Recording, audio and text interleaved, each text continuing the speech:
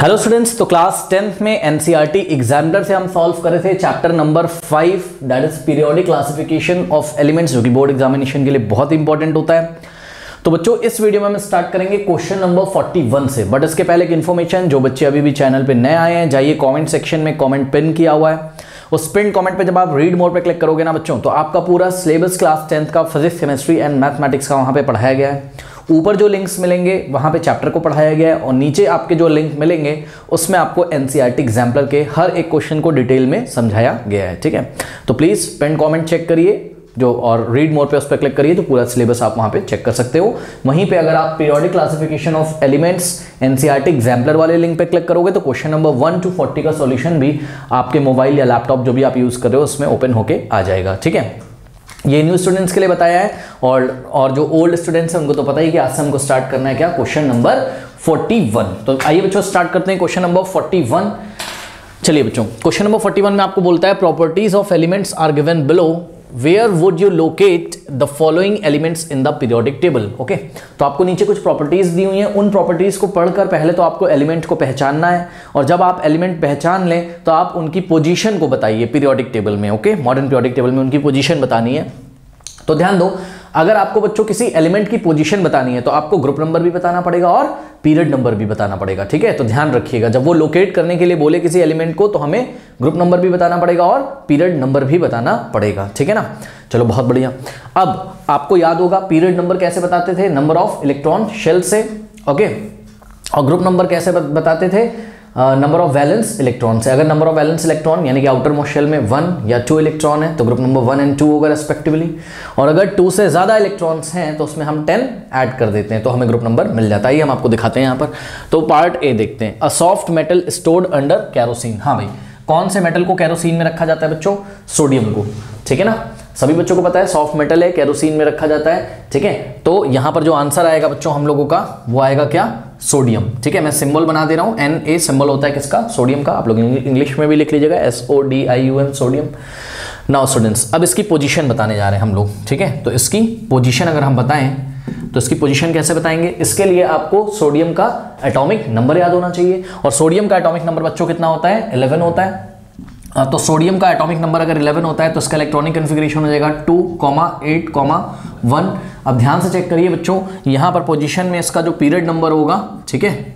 इसका period number जो होगा, वो होगा थ्री कैसे? देखो के शेल के शेल में टू इलेक्ट्रॉन एल शेल में एट इलेक्ट्रॉन और एम शेल में कितने इलेक्ट्रॉन है? वन इलेक्ट्रॉन है करेक्ट तो यहाँ पर total number of electron shells कितनी है? Three K shell L shell M shell three shells हैं. इसलिए पीरियड नंबर कितना हो गया? थ्री हो गया और यहाँ पर ग्रुप नंबर कितना हो जाएगा बच्चों? ग्रुप नंबर हम लोग कैसे बताते हैं? वैलेंस इलेक्ट्रॉन यानी कि आउटर मोस्ट शेल में जो इलेक्ट्रॉन है, उसको देखकर। तो देखो आउटर मोस्ट शेल में कितने इलेक्ट्रॉन है? वन तो उसका ग्रुप नंबर कितना हो जाएगा? वन ठीक है? तो यहाँ पर ग्रुप नंबर कितना हो गया? वन तो इस तरीके से हमने इसका पीरियड नंबर ग्रुप नंबर बता दिया। अब पार्ट बी को देखने से पहले मैं आपको ये बताना चाहता हूँ बच्चों फॉस्फोरस के बारे में, ठीक है? तो फॉस्फोरस क्या होता है? आप क्लास इलेवेंथ में पढ़ोगे, जिनको नहीं पता है, देख लें। Phosphorus is very reactive element okay phosphorus बच्चों बहुत ही हाईली रिएक्टिव होता है। इवन इतना ज़्यादा रिएक्टिव है कि जब 30 डिग्री सेल्सियस टेम्परेचर आता है 30 डिग्री गर्मियों में पहुँच जाता है उत्तर प्रदेश में, अगर आप रहने वाले हो यूपी के, ठीक है? तो 30 डिग्री बहुत ही ईजिली इवन 30 डिग्री से ज़्यादा ही हो जाता है टेम्परेचर तो 30 डिग्री आपने महसूस किया होगा कभी ना कभी, आपने देखा होगा गूगल पे कि भाई आज टेम्परेचर कितना है 30 डिग्री। तो सिर्फ़ 30 डिग्री टेम्परेचर पे ही बच्चों, क्या होता है कि ये अपने इग्निशन टेम्परेचर पे पहुँच जाता है इग्निट हो जाता है। इग्निट मतलब आप इसमें समझ सकते हो कि आग सी लग जाती है इसमें, ठीक है ना? तो बच्चों, यही बात हमने यहाँ पर लिखी है phosphorus is highly reactive and spontaneously spontaneously means spontaneous process है जब ये इग्निट हो जाता है थर्टी स्पॉन्टेनियस मतलब कुछ करने की ज़रूरत नहीं है आपको, अपने आप इसमें आग लगना शुरू हो जाएगी, ऐसा आप समझ सकते हो। आग लगने का मतलब आपको वहाँ कुछ लाइट वगैरह दिखाई पड़ेगी, ठीक है? जैसे नॉर्मली लकड़ी जलती है कुछ उस तरीके से, ठीक है? And ignites at about 30 degree is in moist air okay तो ये बहुत ज़्यादा बच्चों रिएक्टिव है। इसलिए इसको हम वाटर में स्टोर करके रखते हैं, ठीक है ना? तो वाटर में जब आप स्टोर करके रखोगे, ठीक है तो ये सुरक्षित रहता है, ठीक है? ये वाटर इसको प्रोटेक्ट कर देता है। प्रोटेक्ट इस तरीके से करता है बच्चों वाटर का जो लेटेंट हीट होता है, वो बहुत ज़्यादा होता है मतलब बहुत जल्दी पानी गर्म नहीं होता है ना? तो बहुत जल्दी रखा हुआ पानी थर्टी डिग्री तक नहीं पहुंचेगा और फॉस्फोरस सुरक्षित रहेगा। इसलिए ध्यान रखिए फॉस्फोरस को किसमें स्टोर करते हैं हम? वाटर में स्टोर करते हैं, ठीक है? तो ये एक बहुत ही इंपॉर्टेंट बच्चों, आपको नॉलेज मिला है, शायद आपने कहीं क्लासेस वगैरह में ना पढ़ाओ, ठीक है? और ये क्वेश्चन अगर एग्ज़ाम में आ जाए तो फिर हमें समझ में नहीं आएगा। अब आइए हम आपको दिखाते हैं कि पार्ट बी में बोल क्या रहा है। देखो an element with variable more than one valency stored under water देखो बच्चों, अगर आपको ये बात नहीं समझ में आ रही कि भाई जो एलिमेंट है, उसकी वेरिएबल वैलेंसी वेरिएबल वैलेंसी है। वेरिएबल वैलेंसी मतलब कि एक से ज़्यादा वो वैलेंसी शो करता है, ठीक है ना? एक से ज़्यादा वैलेंसी शो करता है। तो ये बात अगर आप नहीं पहचान पा रहे हो तो ये बात तो आप पहचान पा रहे हो ना कि भाई स्टोर्ड अंडर वाटर वाटर के अंडर किसको स्टोर किया जाता है? फॉस्फोरस को। इसका मतलब किसकी बात करी आ रही है? फॉस्फोरस की बात करी आ रही है, ठीक है ना? फॉस्फोरस का सिंबल क्या होता है बताइए? कैपिटल पी होता है, ठीक है? तो यहाँ पर सॉल्यूशन में हमने क्या लिखा? कि कैपिटल पी लिखा फॉस्फोरस आप इंग्लिश में भी लिख लीजिएगा बच्चों। अब देखिए, यहाँ पर इसकी पोजीशन अगर हम बताएँ तो पोजीशन में बच्चों सबसे पहले आपको क्या बताना पड़ेगा? पीरियड नंबर चलिए फटाफट बच्चों पीरियड नंबर बता देते हैं हम लोग। पीरियड नंबर कैसे बताएँगे? फॉस्फोरस का एटॉमिक नंबर कितना होता है? 15 ये तो याद होगा 1 से 20 तक याद कराया गया तो फॉस्फोरस का एटॉमिक नंबर 15 है। 15 का electronic configuration sorry two comma eight comma five correct अब यहाँ पे देखिए बच्चों K shell L shell M shell तो total number of electron shells कितनी है? थ्री तो इसका पीरियड नंबर भी कितना है? थ्री है. और अगर आप ग्रुप की बात करें तो ग्रुप नंबर है बच्चों इसका कितना? अब ध्यान दें स्टूडेंट्स यहाँ पर आउटर मोस्ट शेल में कितने इलेक्ट्रॉन्स हैं? फाइव इलेक्ट्रॉन्स वैलेंस इलेक्ट्रॉन कितने? फाइव इलेक्ट्रॉन अगर वैलेंस इलेक्ट्रॉन फाइव इलेक्ट्रॉन है तो हमने आपको क्लास में पढ़ाया है कि वैलेंस इलेक्ट्रॉन अगर वन या टू से ज़्यादा होते हैं तो हम ग्रुप नंबर निकालने के लिए number of valence electrons plus ten कर देते हैं। तो फाइव में हम टेन ऐड कर देंगे फाइव प्लस टेन कितना हो जाएगा? फिफ्टीन हो जाएगा ग्रुप नंबर फिफ्टीन तो ये क्वेश्चन तो हो गया, लेकिन आइए जरा हम आपको ये समझाते हैं कि an element with variable valency का क्या मतलब है। विद वेरिएबल वैलेंसी का क्या मतलब है? ठीक है स्टूडेंट्स तो यहाँ पर मैं आपको एक एग्जांपल की हेल्प से समझाता हूँ कि ये वेरिएबल वैलेंसी कैसे फॉस्फोरस शो कर रहा है बच्चों। देखिए, आइए हम आपको आपके नॉलेज के लिए यहाँ पर एग्जांपल देते हैं।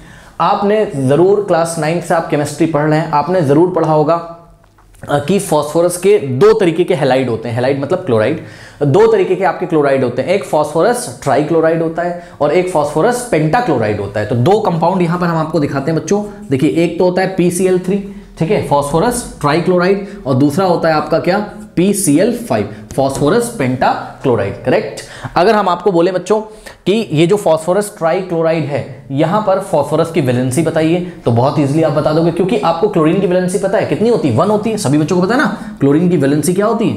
वन होती है। ठीक तो फॉस्फोरस की वैलेंसी यहाँ कितनी होनी चाहिए? थ्री थ्री इधर चला जाएगा वन इधर। तो पीसीएल थ्री बन जाएगा। अब यहाँ पे चेक करो, यहाँ पे फॉस्फोरस की वैलेंसी कितनी होगी? क्लोरीन की तो फिक्स है। क्लोरीन की वैलेंसी हमेशा वन होती है। ठीक है? और यहाँ पर देखिए जरा बच्चों, फॉस्फोरस की वैलेंसी कितनी हो जाएगी इस हिसाब से? क्लोरीन की तो वन हो गई। तो फॉस्फोरस की कितनी होनी पड़ेगी? फाइव फाइव इधर जाएगा सीएल के नीचे वन इधर आएगा। पीसीएल फाइव तभी तो बनेगा। तो यहाँ पे आप देखिए फॉस्फोरस वेरिएबल वैलेंसी शो कर रहा है। यहाँ पर इसकी वैलेंसी थ्री है, यहाँ पर इसकी वैलेंसी फाइव है। बात समझ में आई? जब आप इलेवंथ क्लास में जाओगे तो इसी को हम ऑक्सीडेशन नंबर से पहचाना करेंगे और हम बोला करेंगे भाई कि फॉस्फोरस वेरिएबल ऑक्सीडेशन स्टेट दिखाता है। तो उसके बारे में हम क्लास इलेवंथ में डिटेल में पढ़ेंगे। मैंने हल्का सा आपको बता दिया कि किस तरीके से फॉस्फोरस वेरिएबल वैलेंसी को शो करता है। बात समझ में आई कि नहीं बट ये जो बच्चों, देखो वेरिएबल वैलेंसी वाला जो कॉन्सेप्ट है ना, ये तो बहुत सारे एलिमेंट्स हैं जो वेरिएबल वैलेंसी शो करते हैं। आप जाके देखोगे क्लास इलेवंथ में। लेकिन हमने इस क्वेश्चन को मेन पहचाना किससे? स्टोर्ड अंडर वाटर से पहचाना है। ठीक है तो इस बात को आप लर्न कर लीजिए कि फॉस्फोरस को वाटर के अंडर स्टोर किया जाता है बिकॉज़ ये बहुत ही रिएक्टिव होता है। ओके चलिए, अब देखिए बच्चों, यहाँ पर पार्ट सी देखिए। कह रहा है an element which is tetravalent हाँ भाई, बच्चों, ये टेट्रावेलेंट क्या होता है? जिस एलिमेंट की वैलेंसी फोर होती है, उसको हम क्या बोलते हैं? टेट्रावेलेंट तो बहुत ही फ़ेमस एलिमेंट है आपके पास कार्बन जिसकी वैलेंसी टेट्रावेलेंट होती है। ठीक है? And forms the basis of organic chemistry ये तो बहुत ही अच्छी बात आगे दी है इससे तो हम तुरंत पहचान गए कि भाई पूरी ऑर्गेनिक केमिस्ट्री का जो बेस है, वो क्या है? कार्बन ही तो है। ठीक है ना? कार्बन एंड इट्स कंपाउंड के बारे में आप पढ़ते हो ऑर्गेनिक केमिस्ट्री में। तो यहाँ पर बच्चों सॉल्यूशन में आपका जो एलिमेंट है, वो क्या है? कार्बन है। बस मैं सिंबल बना दे रहा हूँ, आप लोग लिख लीजिएगा कार्बन अब अगर बात करें इसकी पोजीशन की, ठीक है स्टूडेंट्स तो यहाँ पर पोजीशन या लोकेशन की जो बात करें तो पीरियड नंबर कैसे निकालेंगे? पीरियड पीरियड नंबर कैसे निकालेंगे? पीरियड नंबर आएगा इसका, देखते हैं। कार्बन का, बच्चों एटॉमिक नंबर कितना होता है? सिक्स होता है। तो कार्बन का अगर एटॉमिक नंबर सिक्स होता है तो सिक्स का इलेक्ट्रॉनिक कन्फिग्रेशन करेंगे। टू कॉमा फोर करेक्ट तो टू कॉमा फोर तो ध्यान से चेक करिए यहाँ कितनी शेल्स हैं। ओनली टू शेल्स देखो के शेल में टू इलेक्ट्रॉन एल शेल में four K shell L shell तो नंबर ऑफ़ इलेक्ट्रॉन शेल्स कितनी है? टू इसलिए पीरियड नंबर कितना हो जाएगा? टू और यहाँ पर अगर हम लोग ग्रुप नंबर निकालें तो ग्रुप नंबर कैसे निकालते हैं? ध्यान से चेक करिए स्टूडेंट्स आउटर मोस्ट में कितने इलेक्ट्रॉन है? फोर लेकिन आउटर मोस्ट शेल में, यानी कि वैलेंस शेल में जब वन या टू वन और टू इलेक्ट्रॉन से ज़्यादा इलेक्ट्रॉन होते हैं मोर देन टू इलेक्ट्रॉन तो हम ग्रुप नंबर कैसे निकालते हैं? हम वैलेंस शेल में क्या ऐड कर देते हैं? टेन ऐड कर देते हैं। फोर प्लस टेन कितना हो जाएगा? फोर्टीन तो कार्बन का ग्रुप नंबर फोर्टीन वैसे भी आप लोगों को पता है। ओके तो इसको आप कर लीजिए। नाउ स्टूडेंट्स पार्ट डी देखते हैं बट उससे पहले पार्ट ए में इन्होंने जो हमसे पूछा था ना soft metal stored under kerosene तो दो तरीके के मेटल्स हो सकते हैं इसमें तो सोडियम और पोटेशियम तो आप और में करके सोडियम तो जवाब दिया ही था आपने पोटेशियम भी आपको सॉफ्ट मेटल पता है और इसको कैरोसिन ऑयल में रखा जाता है आपको पता है ठीक है ना? बिकॉज़ बहुत ज़्यादा रिएक्टिव होता है. अब बच्चों ये हो गया पोटेशियम मतलब सोडियम और पोटेशियम और पोटेशियम का एटॉमिक नंबर कितना होता है? 19 होता है ठीक है ना? 19 का इलेक्ट्रॉनिक कन्फिग्रेशन 2, 8, 8, वन तो इसका पीरियड नंबर देखो हम शॉर्ट में लिख रहे हैं यहाँ पे, इसका पीरियड नंबर कितना हो जाएगा कितनी शेल्स हैं? वन टू थ्री फोर तो पीरियड नंबर फोर हो गया और ग्रुप नंबर की अगर हम बात करेंगे तो क्या हो जाएगा ग्रुप नंबर यहाँ पर? ग्रुप नंबर वन हो जाएगा क्योंकि आउटर मोस्ट शेल में कितने इलेक्ट्रॉन्स हैं? वन तो आप, जो पार्ट एक आंसर है, दोनों ही बताइएगा एग्ज़ाम में, ठीक है? सोडियम और करके पोटेशियम दोनों की इन्फॉर्मेशन दीजिएगा। अब देखिए पार्ट डी कह रहा है an element which is an inert gas which is an inert gas with atomic number two. तो इनर्ट गैस बच्चों कौन से ग्रुप में आता है? बताइए, ग्रुप नंबर 18 में देखिए। हीलियम, ठीक है? नियॉन, ऑर्गन, क्रिप्टॉन, ठीक है? जेनॉन और रेडॉन, ठीक है? तो हीना, नीना और करीना का जीरोक्स रंगीन, ये हमने आपको क्लास में बताया। अब यहाँ पे खास बात देखिए, इस ग्रुप नंबर 18 में जो इनर्ट गैसेस में एटॉमिक नंबर टू किसका होता है बताइए? हीलियम का। और ध्यान रखिए स्टूडेंट्स ये क्वेश्चन तो एग्ज़ाम में आना ही आना है। मतलब ये बहुत इंपॉर्टेंट क्वेश्चन है कि जिसका एटॉमिक नंबर कितना है? टू है। इसमें खास बात क्या होती है? देखिए जरा।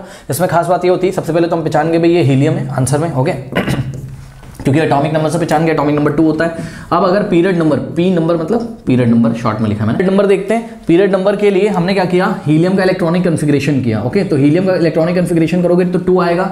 अब ध्यान से चेक करिए बच्चों टू तो यहाँ नंबर ऑफ़ शेल्स कितनी? ओनली वन शेल है दैट इज़ के शेल के शेल में टू इलेक्ट्रॉन गए। तो इसका पीरियड नंबर तो नंबर ऑफ़ इलेक्ट्रॉन शेल से पता चलता है तो पीरियड नंबर तो इसका वन हो गया, कोई दिक्कत नहीं है। तो पीरियड नंबर इसका कितना हो गया? वन हो गया। और ग्रुप नंबर देखिए, अब ग्रुप नंबर में कंफ्यूजन होता है। वैसे तो आपको पता चल गया इसका ग्रुप नंबर एटीन है बट ग्रुप नंबर के लिए हम लोग क्या देखते थे? नंबर ऑफ़ वैलेंस इलेक्ट्रॉन मतलब आउटर मोस्ट शेल में कितने इलेक्ट्रॉन है? तो यहाँ तो आउटर मोस्ट शेल में कितने इलेक्ट्रॉन है? टू तो कोई बच्चे इसका ग्रुप नंबर टू लिख सकते हैं रॉन्ग हो जाएगा। हमने आपको क्लास में स्पेशली पढ़ाया हुआ, जब भी आपको एटॉमिक नंबर कितना दे दे टू तो वो हीलियम होता है। और ये एक एक्सेप्शनल केस है, यहाँ पर आपको ग्रुप नंबर टू नहीं बताना है, आपको ग्रुप नंबर एटीन बताना है। तो ध्यान रखिएगा, यहाँ पर ग्रुप नंबर कितना आ जाएगा? एटीन आएगा। बहुत ध्यान से आपको करना है। ठीक है ना? ओके उसके बाद लेते हैं पार्ट सी कह element whose thin layer oxide layer is use to make other elements corrosion resistance by the process of anodizing बच्चों, देखिए एनोडाइजिंग एक ऐसा प्रोसेस होता है, मैं आपको शॉर्ट में थोड़ा सा बता देता हूँ, बहुत डिटेल में तो आपके सिलेबस में है नहीं बट यहाँ क्वेश्चन आ गया है। तो ध्यान से करो बच्चों एनोडाइजिंग क्या होता है? एनोडाइजिंग में, ये देखिए, ये जो पॉजिटिव है, ये हो गया एनोड आपका, ठीक है? और ये जो नेगेटिव है, ये हो गया आपका कैथोड ठीक है? तो ये हो गया आपका एनोड ठीक है? ये हो गया आपका क्या?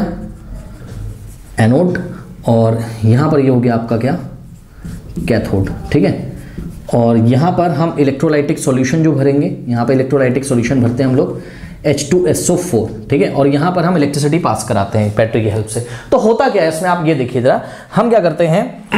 यहाँ पर एनोड पे कोई दूसरा एलिमेंट रख देंगे, जिस एलिमेंट के ऊपर हमें क्या चाहिए? जिस एलिमेंट के ऊपर हमें ऑक्साइड की लेयर चाहिए। किसके ऑक्साइड की लेयर चाहिए? एल्यूमिनियम ऑक्साइड की लेयर चाहिए। ठीक है स्टूडेंट्स तो ध्यान से चेक करिएगा कि जब जैसे ही हम इलेक्ट्रिसिटी पास कराते हैं तो यहाँ पे जो भी एलिमेंट रखा होगा एनोड पे जो भी एलिमेंट रखा होगा, उस एलिमेंट के ऊपर एक प्रोटेक्टिव लेयर आ जाती है। किसकी? एल्यूमिनियम ऑक्साइड की। प्रोसेस में डिस्कस नहीं कर रहा हूँ, वो सब आपके सिलेबस में नहीं है।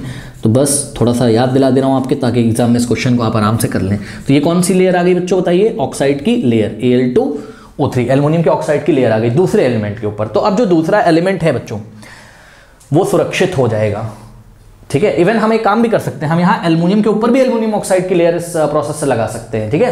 तो एनोड पे हमें वो मटेरियल रखना है जिस मटेरियल के ऊपर हमें क्या लगाना है? एल्यूमिनियम ऑक्साइड का लेयर क्यों लगाना है सर एल्यूमिनियम ऑक्साइड का लेयर उसके ऊपर एल्यूमिनियम ऑक्साइड का जब लेयर आ जाएगा ना तो वो मोर एब्रेसिव हो जाएगा मतलब मज़बूत हो जाएगा उस पर खरोच नहीं लगेगी। जैसे खरोच नहीं लग जाती है हाँ? हम कुछ मान लो कुछ हम आयरन का रॉड लेके जा रहे हैं और ऐसे बोर्ड में लड़ गया तो बोर्ड में ऐसे लड़ गया अगर तो यहाँ पे ऐसे एक निशान सा आ जाता है ठीक है?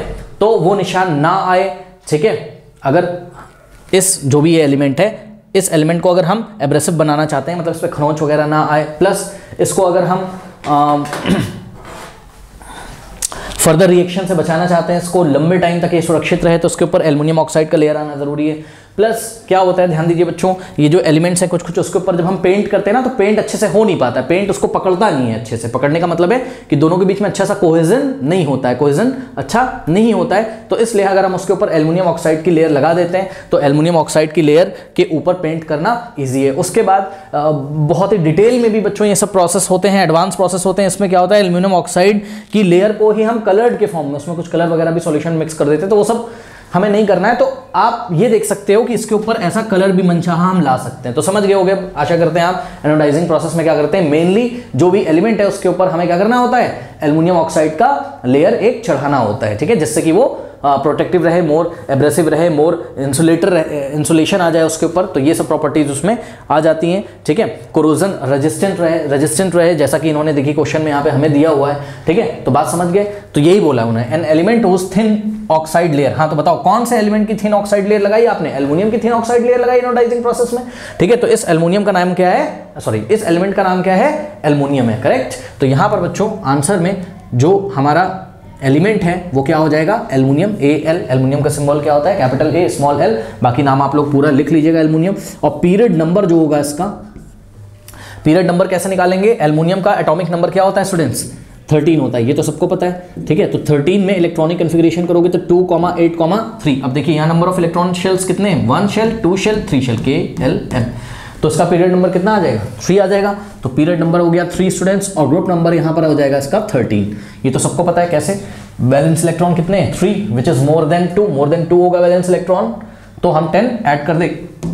थ्री प्लस टेन कितना हो गया? थर्टीन तो ग्रुप नंबर कितना हो गया? थर्टीन ओके कर लीजिए। Students question number 42 an elements is placed in second group ध्यान दें स्टूडेंट्स ग्रुप नंबर कितना है इसका? सेकंड है।